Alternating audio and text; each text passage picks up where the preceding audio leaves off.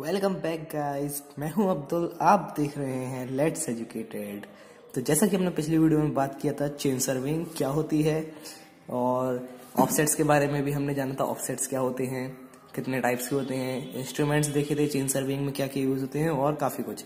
जो हमारा अगला टॉपिक रह गया था चेन सर्विंग में ही, वो था selection of service station obstacles in chaining and errors due to incorrect length और simply errors in chain surveying तो हम इस वीडियो में इन्हीं टॉपिक पर बात करने वाले हैं कि सिलेक्शन ऑफ़ सर्वे स्टेशन कैसा होना चाहिए चेनिंग में ऑब्स्टिकल्स क्या क्या होते हैं और एरर्स क्या क्या होते हैं, उन पर बेस्ड हम कुछ न्यूमेरिकल प्रॉब्लम्स भी देखेंगे।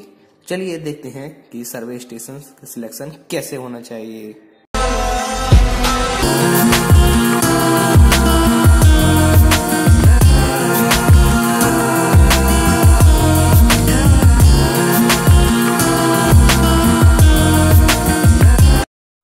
सो so गाइस, हम पहले देखते हैं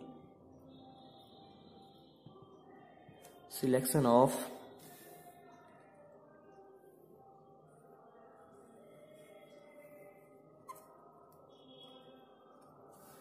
सर्वे स्टेशंस। जो सर्वे स्टेशंस हम बनाते हैं, जो चाहे वो मेन स्टेशन हो या इंटरमीडिएट तो हम उनमें क्या पॉइंट्स अपने माइंड में रखें कि हमें कोई प्रॉब्लम ना हो। जो फ़र्स्ट पॉइंट आता है, वो ये है कि जो स्टेशन होते हैं, वो ऐसे सिलेक्ट होना चाहिए that they follow the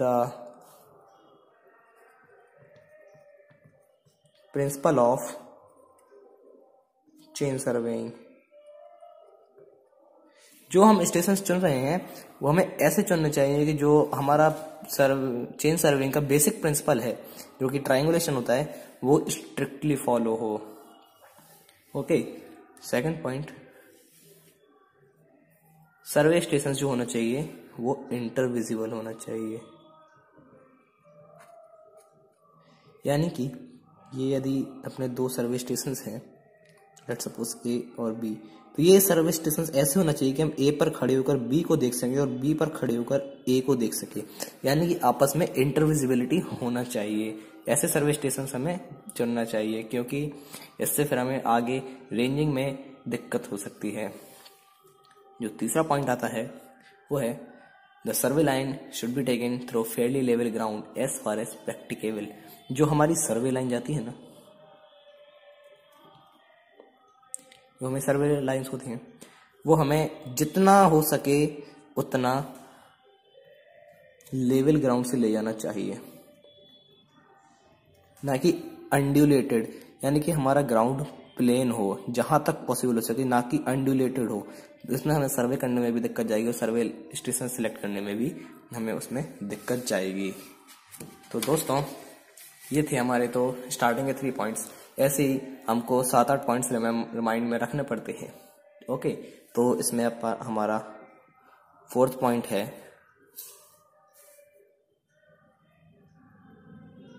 The main survey line should pass close to the boundary line of the area to be surveyed जो हमारी मेन सर्वे लाइन होती है ना।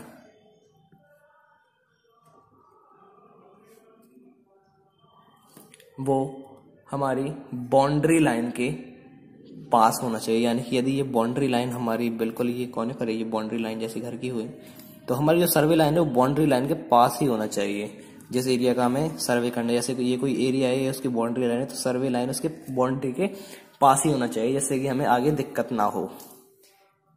और दोस्तों, जैसा कि आप सब देख ही रहे हैं कि हमने थोड़ा इम्प्रूवमेंट कर लिया है धीरे धीरे थोड़ा और इम्प्रूवमेंट होता जाएगा because we have exchange our pen और paper from glass and sketch ये थोड़े कस्टम टाइप के स्केच हैं, क्योंकि ये जैसे दिखते हैं वैसे बहुत ही कम चलते हैं, ये अपना कलर बदलते रहते हैं।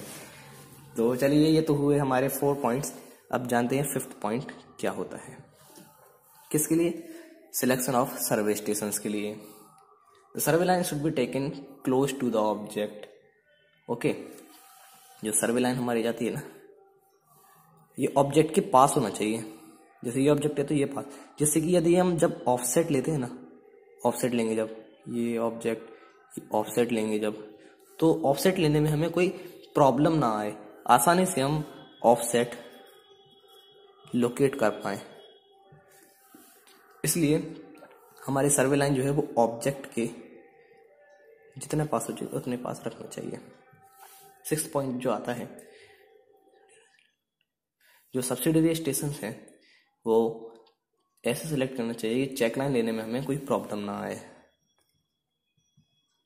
सब्सिडरी स्टेशन स्टेशन को आप एस टी एन डॉट भी लिख सकते हैं शॉर्ट फॉर्म में, क्योंकि वो अपने अपने शॉर्ट फॉर्म होते हैं। कोई एस टी एन लिखता है, कोई स्टेशन पूरा लिखता है, आप एस टी एन भी लिख सकते हैं। जो सब्सिडरी स्टेशन है suitably selected for taking check line इनको ऐसे सिलेक्ट करना चाहिए कि आप चेक लाइन में आपको कोई प्रॉब्लम ना हो। ओके सेवन पॉइंट जो आता है station should be so selected that obstacles in chaining are avoided as far as possible जो अपने सर्विस स्टेशन अपन चुन रहे हैं ए बी सी कुछ भी हो, वो ऐसे चुनना चाहिए कि इसमें कोई ऑब्स्टिकल्स ना हो। मान लीजिए आपने सर्विस स्टेशन से चुन ली, लेकिन यहाँ पर एक बिल्डिंग आ रही है, या फिर यहाँ पर कोई पॉन्ड आ रहा है तो ये सब चीज़ें नहीं होना चाहिए। जहाँ तक हो सके अपन को ऑब्स्टिकल्स क्या करना चाहिए? रिमूव करना चाहिए अवॉइड करना चाहिए। एट्थ पॉइंट अपना आता है वह the survey line should not be very close to main road जैसे ये आपकी मेन रोड गई है, ये बीच में जो डिवाइडर बना रहता है। ये जो आपकी मेन रोड गई है, इसके बहुत पास नहीं होना चाहिए। क्यों नहीं होना चाहिए? वो आप लोग भी जानते हैं, क्योंकि जब अपन सर्वे वर्क कर रहे होंगे, वो सर्वे लाइन अपनी मेन रोड के बहुत ही पास होगी। तो ये जो अपना सर्वे वर्क होगा ना वो ट्रैफ़िक की वजह से इंटरप्ट हो जाएगा। मतलब इसमें अपन को बाधा आएँगी, अपन को सर्वे वर्क करने में प्रॉब्लम होगी। तो दोस्तों, ये तो थे कुछ पॉइंट्स जो कि हमें अपने माइंड में रखने पड़ते हैं जब हम सर्वे स्टेशन सिलेक्ट करते हैं। अब अपन देखने जा रहे हैं कि जो चेन सर्विंग होती है ना चेनिंग जिसे हम कहते हैं प्रोसेस को, उसमें ऑब्स्टिकल्स क्या क्या होते हैं? क्योंकि हर चीज़ में ऑब्स्टिकल्स होते हैं और हम बात कर रहे हैं सर्वेइंग की तो सर्वेइंग में तो ऑब्वियसली ऑब्स्टिकल्स होंगे ही होंगे। ओके तो अब हम देखते हैं कि ऑब्स्टिकल्स क्या क्या होते हैं। ओके तो अब हम बात करते हैं obstacles in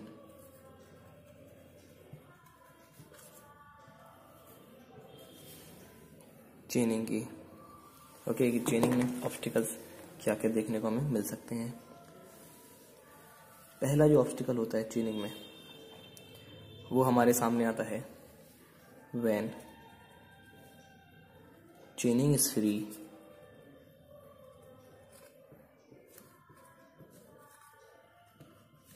but vision obstructed इसका मतलब क्या हुआ? इसका मतलब ये है कि ऐसी जगह जहाँ पर हम चेनिंग तो कर सकते हैं बट देख नहीं सकते। यानी कि जैसे कि आप किसी जंगल में हैं, किसी जंगल में हैं आप, वहाँ पर पेड़ लगे हुए हैं,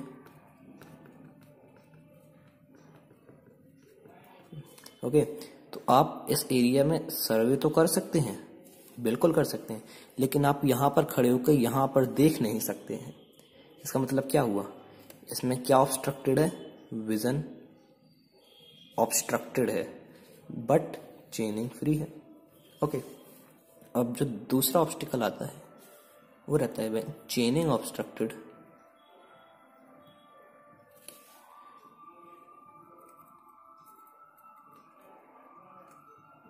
but vision free okay इसका क्या मतलब हुआ? कि इसका मतलब ये हुआ कि हम चेनिंग तो कर सकते हैं। नहीं, इसका मतलब ये हुआ कि हम विजन तो कर सकते हैं मतलब देख तो सकते हैं बट उस एरिया में चेनिंग नहीं कर सकते। ऐसी प्रॉब्लम जो आती है, जैसे ये कोई पॉन्ड आ गया है रास्ते में। ओके हमें यहाँ पर सर्वे करना है, इधर से इधर तक। तो हम यहाँ से यहाँ देख तो सकते हैं, और यहाँ से यहाँ भी देख सकते हैं बिकॉज़ ये ए और जो ये बी है, वो इंटरविजिबल है आपस में, क्योंकि सर्विस स्टेशन हमें ऐसे सिलेक्ट करने होते हैं जो इंटरविजिबल हो। तो ये इंटरविजिबल तो है, यानी कि विजन तो फ्री है हमारा बट चेनिंग हम यहाँ पर नहीं कर सकते। पोल खड़ा करेंगे तो कैसे करेंगे? ओके तो यहाँ एक दिक्कत आ जाती है। तो जिसमें हमारी चेनिंग ऑब्स्ट्रक्टेड है बट विजन फ्री है। तो ये तो हुआ दूसरा टाइप अब जो थर्ड टाइप आता है, होता है when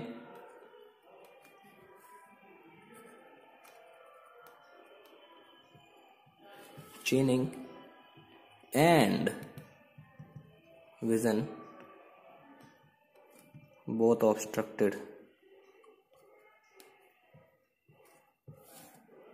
यानी कि ना ही तो हम वहाँ पर चेनिंग कर सकते हैं, ना ही हम देख सकते हैं। तो इसका मतलब ये हो कि जैसे ये हमारे दो स्टेशन है ए और बी यहाँ पर हमें सर्वे करना है। तो हम ना ही इन्हें देख सकते हैं ना ही यहाँ पर चेनिंग कर सकते हैं। ये कब होगा? जब यहाँ पर कोई ऑब्स्टिकल बड़ा होगा, जैसे कोई बिल्डिंग वगैरह बिल्डिंग या कोई अपार्टमेंट या किसी अगर, जब ये ऑब्स्टिकल होगा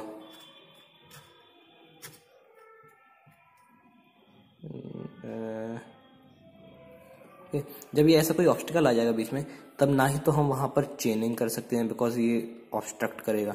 ना ही हम यहाँ से खड़े होकर देख सकते हैं क्योंकि इंटरविजिबल ही नहीं हो पाएँगे।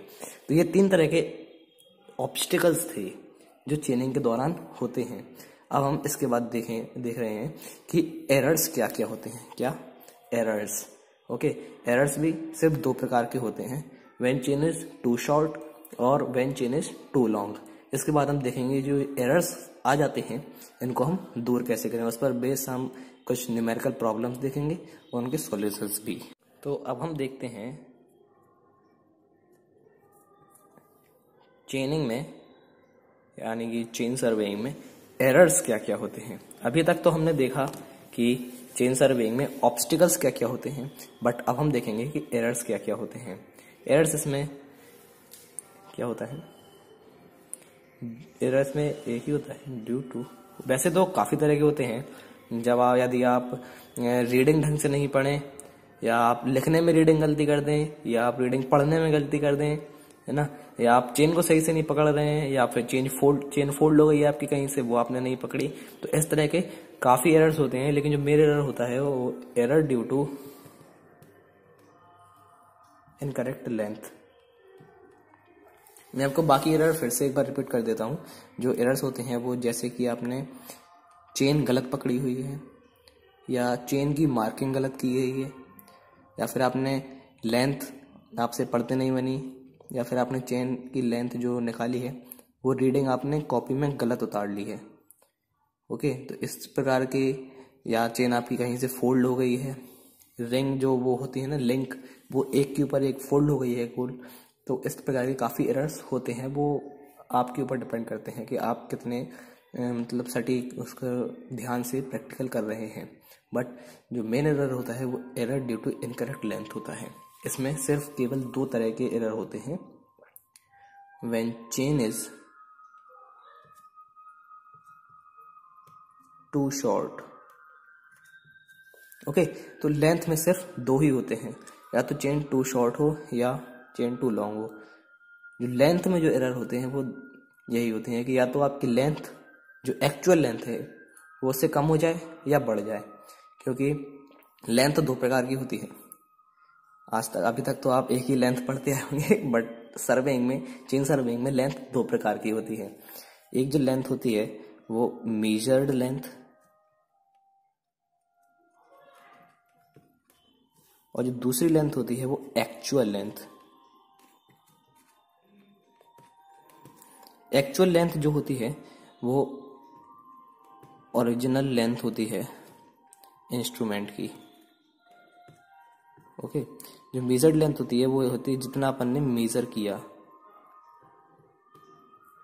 मेजर किया होता है जो अपन ने, वो रहती है अपनी मेजर्ड लेंथ जितना अपन नापते हैं। ओके तो ये सब थी, आइए अब बात करते हैं। When chain is too short जब अपनी चेन टू शॉर्ट हो। यानी कि एग्ज़ाम्पल लेते हैं, एक स्केल है 15 सेंटीमीटर का। यह क्या हुई इसकी? एक्चुअल लेंथ ओके लेकिन कुछ एरर के कारण कुछ एरर के कारण इसकी लेंथ एक सेंटीमीटर कम हो गई।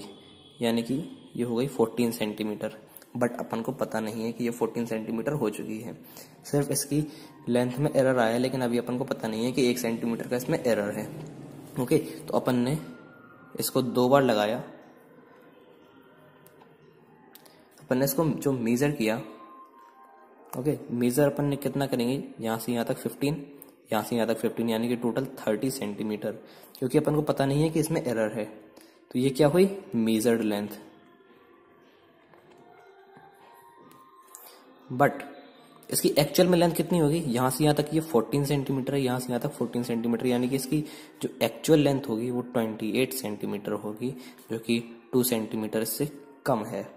यानी कि जो अपना फ़र्स्ट एरर रहता है when the chain is too short इसमें measured length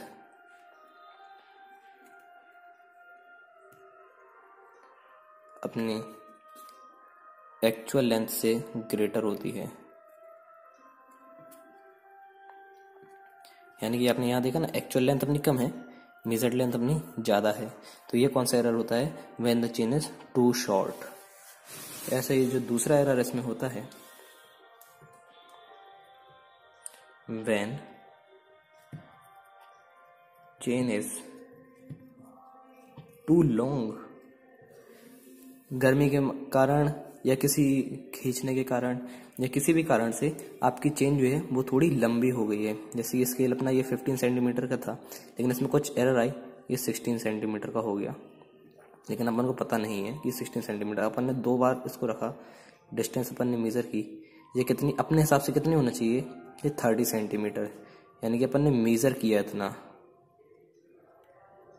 measured length okay लेकिन जी एक्चुअल में ये कितनी है?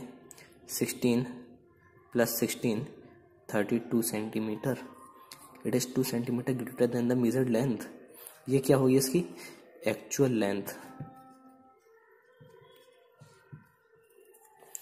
तो ये जो अपना एरर होता है when the chain is too long इसमें जो अपनी एक्चुअल लेंथ होती है ना, वो ग्रेटर देन होती है मेजर्ड लेंथ से। ओके और इसमें क्या था? इसमें जो अपनी मेजर्ड लेंथ होती है, वो एक्चुअल लेंथ से ज़्यादा होती है, लेकिन इस वाले एरर में एक्चुअल लेंथ अपनी मेजर्ड लेंथ से ज़्यादा होती है। ये तो हो गई इन सब की बात कि एरर्स क्या होते हैं ऑब्स्टिकल्स क्या होते हैं। अब अपने चेन में एरर आ गया है। अब अपन को बाद में एरर पता चल गया है कि एरर टू सेंटीमीटर का था, लेकिन अपन ने लेंथ बहुत ही ज़्यादा मेजर कर ली। ये तो सेंटीमीटर का था तो अपन ने आराम से बता दिया कि एरर इतना होगा। लेकिन जब आप चेन बार बार रिपीट कर कर लगाते जाते हैं और बात किलोमीटर्स में पहुँच जाती है। तो ये इतनी आसानी से नहीं निकाल सकते हैं। इसके करेक्शन का एक फॉर्मूला होता है। चलिए वो फॉर्मूला देखते हैं कि क्या होता है। तो चलिए अब देखते हैं। Correction in measured length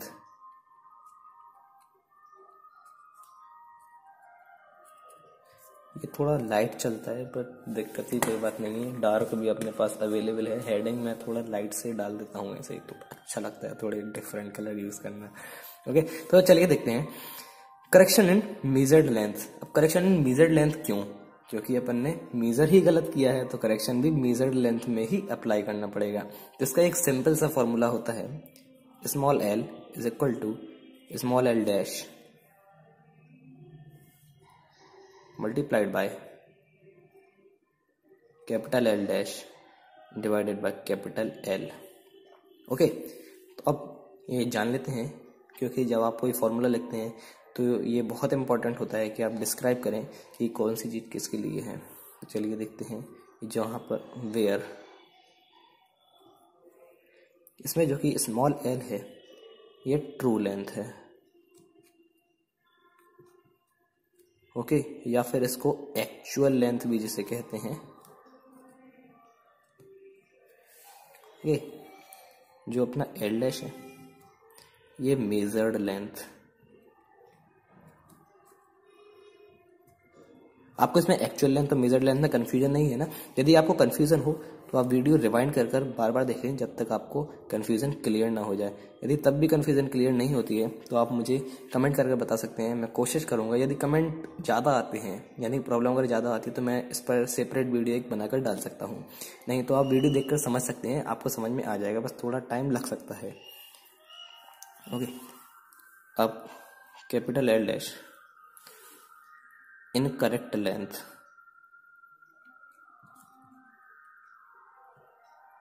of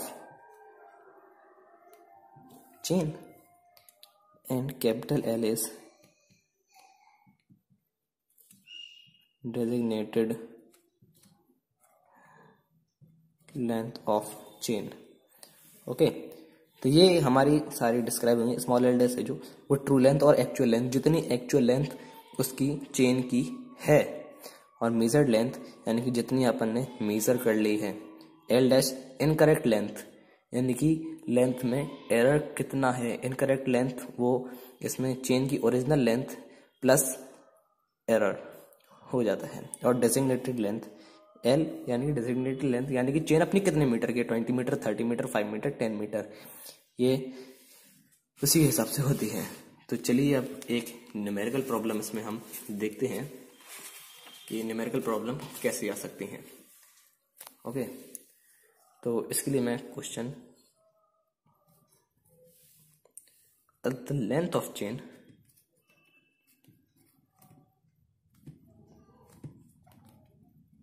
the length of a survey line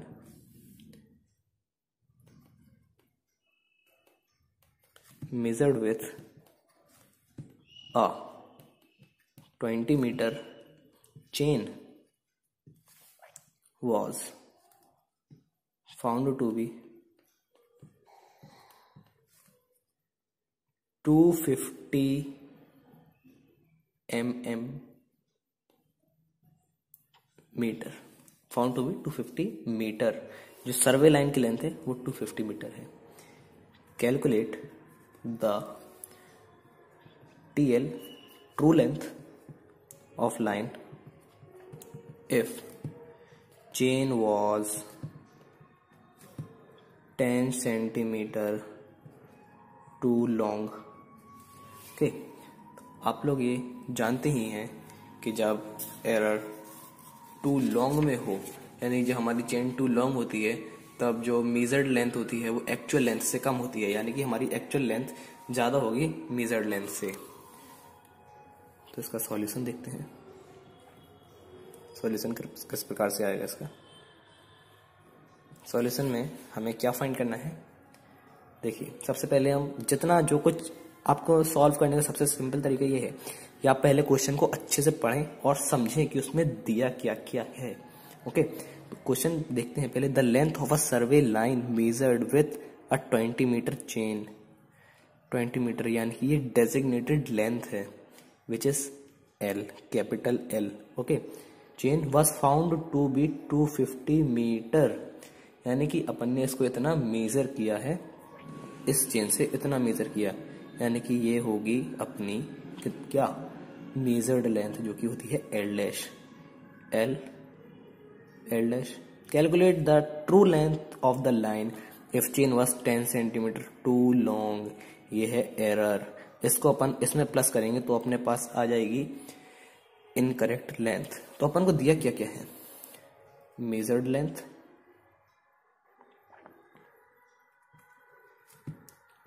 L dash. 250 meter. Incorrect length. L dash. अब इनकरेक्ट लेंथ की बात आई। इनकरेक्ट लेंथ में अपन क्या करेंगे? चेन की डेजिग्नेट लेंथ में एरर प्लस कर देंगे। 20 मीटर प्लस 0.10 मीटर यहाँ पर आपको ध्यान देने की बहुत आवश्यकता है, क्योंकि कुछ लोग क्या करते हैं सीधा सीधा twenty metre plus ten centimetre कर देते हैं और आगे लिख देते हैं twenty point one zero metre. इससे क्या होता है कभी कभी ये लोग सेंटीमीटर लिखना भूल जाते हैं तो वो क्या हो जाएगा थर्टी मीटर। इससे आपके पेपर में मार्क्स कटने के चांसेस काफ़ी बढ़ जाते हैं। आपका पूरा क्वेश्चन ही गलत हो सकता है, भले ही आपने सही लगाया हो। इसलिए अपनी लेंथ कितनी हो जाएगी twenty point one zero metre. ये मीटर में चेंज करेंगे, पहले आप इसको सेंटीमीटर से, ओके? जो डेजिग्नेटेड लेंथ है डी एल क्या होती है? कैपिटल एल वो है अपनी twenty metre. Now we know that मुझे ना सबसे अच्छी लाइन लगती है ये वी नो दैट कोई भी नहीं मेरे को वी नो दैट हम जानते हैं। रख दीजिए formula L is equal to L dash multiplied by L dash divided by L okay अब जितने भी आपके पास वैल्यू हैं, आप सारी पुट कर दीजिए, लाइन से आपका आंसर अपने आप आ जाएगा। L is equal to two fifty multiplied by twenty point one zero divided by twenty ये कितना हो जाएगा? Two fifty two fifty one point two five metre मैं ज़्यादा कैलकुलेशन नहीं कर रहा, मैंने सीधा आंसर लिख दिया। आप कैलकुलेट कर सकते हैं डिवाइड करके। इतना ही आएगा। Okay two fifty point two five metre ये आपका आंसर आया। यानी कि जो ओरिजिनल लेंथ थी एक्चुअल लेंथ थी, वो इतनी थी। क्योंकि जब हमारी चेन टू लॉन्ग होती है ना, तब एक्चुअल लेंथ मेजर्ड लेंथ से ज़्यादा होती है। तो ये ज़्यादा आनी चाहिए। ये आपका, आपको ध्यान देना चाहिए। यदि ये आपका आंसर कम आ रहा है तो आपका आंसर गलत हो सकता है। आपको ये चेक करना पड़ेगा कि ये आपकी लेंथ इस लेंथ से मेजर लेंथ से ज़्यादा है, क्योंकि ये आपकी एक्चुअल लेंथ है। ओके ये आपकी ऑब्वियसली ज़्यादा आना चाहिए। ओके गाइज़ मैं आपको अगला क्वेश्चन सीधा दिखाई देता हूँ। गाइज़ जैसा कि आप लोग अगला क्वेश्चन देख लीजिए, मैं आपको पढ़कर सुना देता हूँ directly The length of a survey line was measured with a 20 meter chain and was found to be 1200 meters. As a check, the length was again measured with a 25 meter chain and was found to be 1212 meter. On comparing 20 meter chain with the least gauge, test gauge, it was found to be 1 decimeter too long. Find the actual length of 25 centimetre chain used. तो simple सी बात है। देखते हैं question क्या कहना चाह रहा है। क्वेश्चन क्या कह रहा है? The length of a survey line was measured with a twenty metre chain जब हमने ट्वेंटी मीटर चेन से सॉल्यूशन देखते हैं सीधा। With twenty metre chain okay जब हमने ट्वेंटी मीटर चेन से इसको मेजर किया ना, तब क्या लेंथ आई इसकी? सर्वे लाइन की ट्वेल्व हंड्रेड मीटर्स यानी कि L dash twelve hundred metre ये क्या होती है एल डैश मेजर्ड लेंथ मैं इसलिए नहीं लिख रहा हूँ डिटेल में, ताकि ये आपको याद हो जाए जल्दी से कि measured length actual length designated length ये सब क्या होते हैं, इनके सिम्बल्स क्या क्या okay L dash measured length होती है, जो कि अपन ने मेजर कितनी करी है? Twelve hundred metres twelve twenty metre की चेन से ओके तो जो एल है कैपिटल एल यानी कि डेजिग्नेटेड लेंथ चेन की वो कितनी होगी? Twenty metre because twenty metre की चेन है हमारी ओके और जो इनकरेक्ट लेंथ है एल डैश वो क्या होगी? ट्वेंटी प्लस एरर एरर कितना था? टेस्ट गेज एक स्केल होता है, जिस पर रखकर जो कि एग्जैक्ट ट्वेंटी मीटर्स का ही होता है ट्वेंटी मीटर्स थर्टी मीटर्स के वो आते हैं ओके तो उसमें जब रखकर हमने चेन को ट्वेंटी मीटर की चेन को जब टेस्ट किया तो हमें क्या मालूम चला कि वो वन डीएम ज़्यादा है वन डीएम में टेन सेंटीमीटर होते हैं ओके तो twenty metre plus zero point one zero metre equal to twenty point one zero metre ये अपनी क्या आई? Capital L dash capital L dash क्या होती है? इनकरेक्ट लेंथ बिल्कुल सही। अब favourite line we know that okay L ज़्यादा ज़्यादा ही तिरछा हो गया है। L is equals to L dash into capital L dash divided by capital L ये याद रखें, ये क्या है? जो अपन ने ट्वेंटी मीटर की चेन से मेज़रमेंट लिया ओके एल क्या आएगी twelve hundred into twenty point one zero divided by twenty bracket twelve hundred से ऑब्वियसली ये ज़्यादा ही आएगी।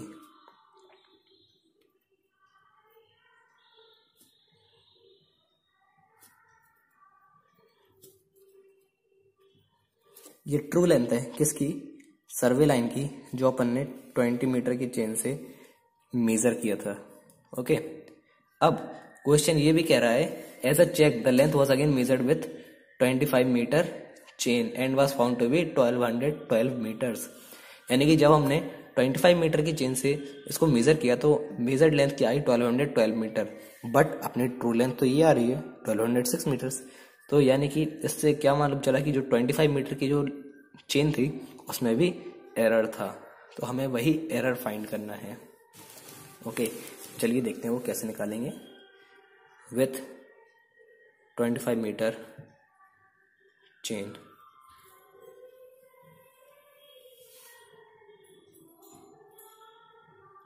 जो हमने मेज़रमेंट लिए ना 25 मीटर की चेन से, वो क्या थे? सबसे पहले तो अपन कैपिटल एल लिख दें, यानी कि designated length of 25 metre chain वो 25 मीटर से होगी ऑब्वियसली कैपिटल एल डैश यानी कि क्या incorrect length of the chain और incorrect length of the chain yes obviously incorrect यास को अपन एक्चुअल लेंथ भी कह सकते हैं। ओके एक्चुअल लेंथ क्योंकि एक्चुअल हमको पता नहीं है। मेजर्ड लेंथ ये एक्चुअल लेंथ ये रहेगी। क्योंकि अपन क्वेश्चन में एक्चुअल लेंथ निकालनी है चेन की।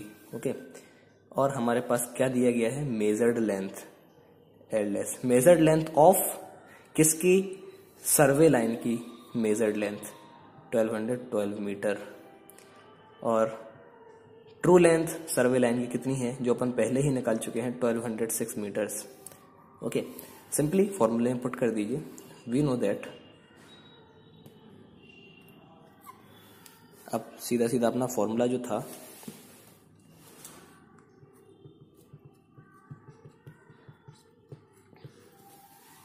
ओके अपने पास एल है। एल डैश है अपने पास। बिल्कुल है। अपने पास क्या नहीं है? कैपिटल एल डैश अपने पास नहीं है। और अपने पास क्या है? एल भी है। ट्वेंटी फाइव मीटर्स ओके ये यहाँ चला जाएगा। तो ट्वेंटी फाइव हो जाएगा। एल डैश अपनी कितनी आ जाएगी?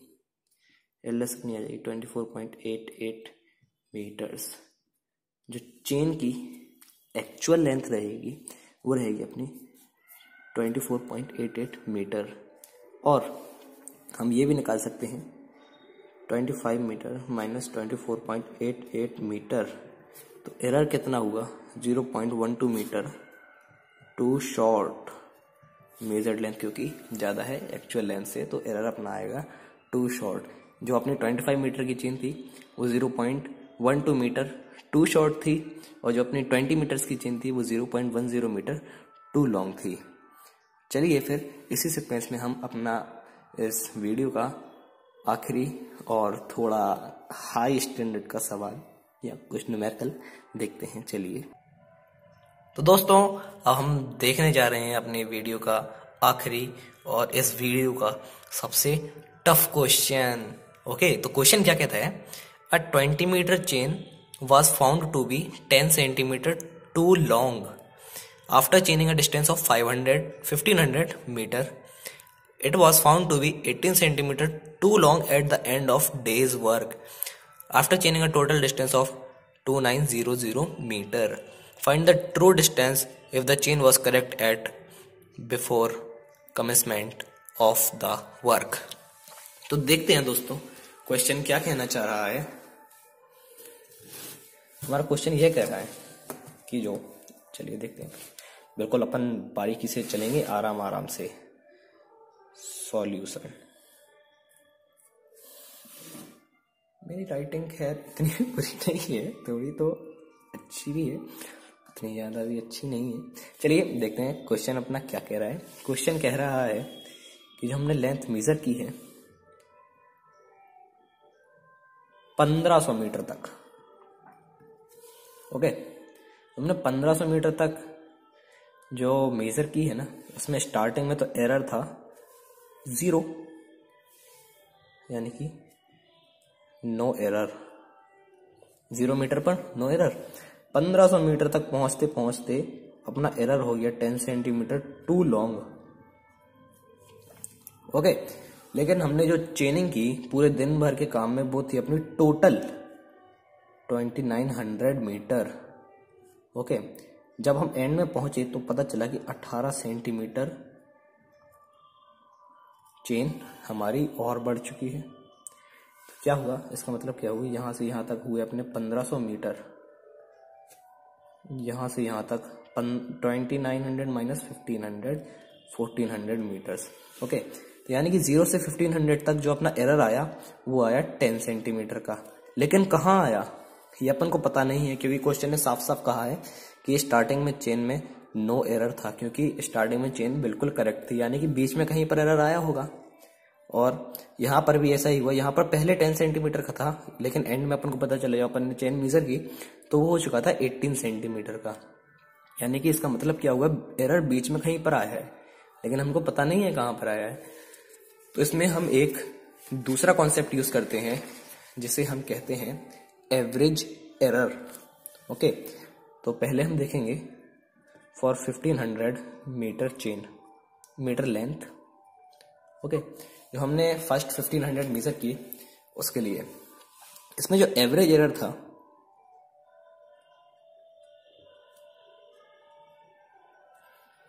वो क्या होगा अपना? ज़ीरो प्लस टेन एवरेज दो या तीन के बीच में होता है, यहाँ पर अपन को दो लेना है फिफ्टीन हंड्रेड तक ओके क्योंकि फिफ्टीन हंड्रेड तक मेजर की बात हो रही है तो ज़ीरो और ten divided by two is equals to five centimetre जो अपनी चेन थी, वो ज़्यादा थी ओके तो अपना एल्डेस एल्डेस क्या होता है?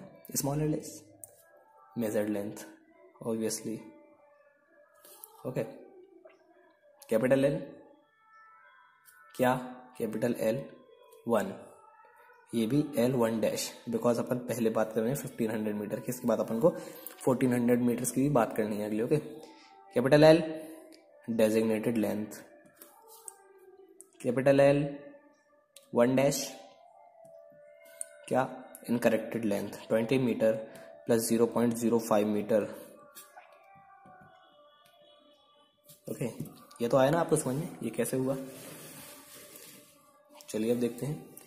वी नो दैट वो वाली लाइन अपन नहीं लिखेंगे, सीधा लिखें L one equal to L one dash into L one dash one L one L one अपन को निकालना है पंद्रह सौ। Twenty point zero five divided by twenty is equal to L equal to पंद्रह सौ into one point zero zero two five okay L one अपनी कितनी आई? Metre. जिसको हम 1500 मीटर मानकर चल रहे थे, उसकी एक्चुअल लेंथ कितनी है पंद्रह सौ तीन दशमलव सात पाँच, यानी fifteen zero three point seven five metre. Three point seven five metre ज़्यादा आई, क्योंकि अपनी चेन थी फाइव सेंटीमीटर टू लॉन्ग ये तो हुई पहले for first fifteen hundred metres okay अब बात करते हैं अगले फोर्टीन हंड्रेड मीटर्स की।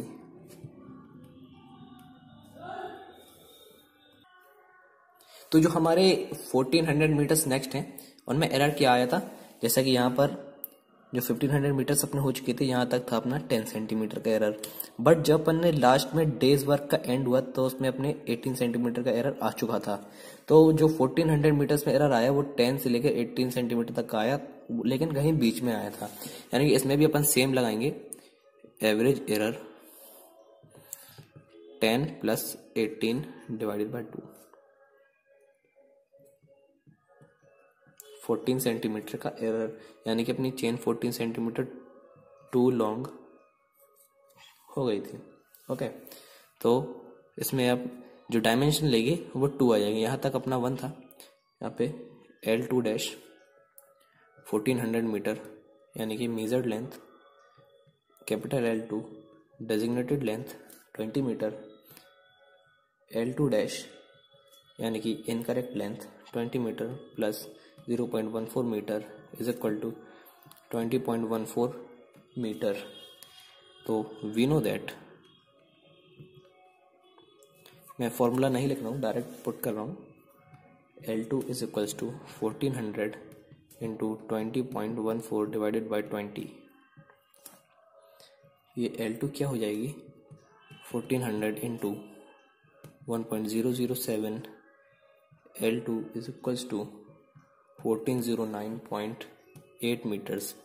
यानी कि जो हमारी एक्चुअल लेंथ जो हमने मेज़र की है मेज़र्ड लेंथ नहीं, जो हमने एक्चुअल में मेज़र की है, वो fourteen zero nine point eight metre है, यानी कि नाइन पॉइंट एट मीटर ज़्यादा। तो हमारी जो टोटल एक्चुअल लेंथ आई, जो हमने मेज़र की है डे एंड में, वो L one plus L two होगी। यानी कि fifteen point fifteen zero three point seven five plus fourteen zero nine point eight metre equals to two nine one three point five five metre यानी कि जो हमने major की थी incorrect length जो हमने मेजर्ड की थी मेजर्ड लेंथ वो थी अपनी ट्वेंटी नाइन हंड्रेड मीटर लेकिन जो हमारी एक्चुअल में जो लेंथ आ रही है, वो आ रही है two hundred two twenty nine hundred thirteen thirteen point five five metres यानी कि thirteen point five five metre ज़्यादा आ रही है। तो दोस्तों ये थे कुछ सवाल। चेन सर्विंग को लेकर, एरर्स को लेकर और एरर्स हम कैसे दूर कर सकते हैं। तो इसके बाद जो वीडियो आने वाली है वो कंपस सर्विंग पर आने वाली है, जो कि अपना सेकंड चैप्टर और अगला टॉपिक होने वाला है। तो यदि आपको इस वीडियो में कहीं भी कोई भी दिक्कत आती है, आप रिमाइंड करके देख सकते हैं या फिर मुझे कमेंट करके नीचे बता सकते हैं, मैं कोशिश करूँगा कि आपकी कोई भी जो प्रॉब्लम है उसको दूर करने की कोशिश करूँ। And also please like share and subscribe my channel and support us and be with us press the bell icon so that you can never miss any update from us. Okay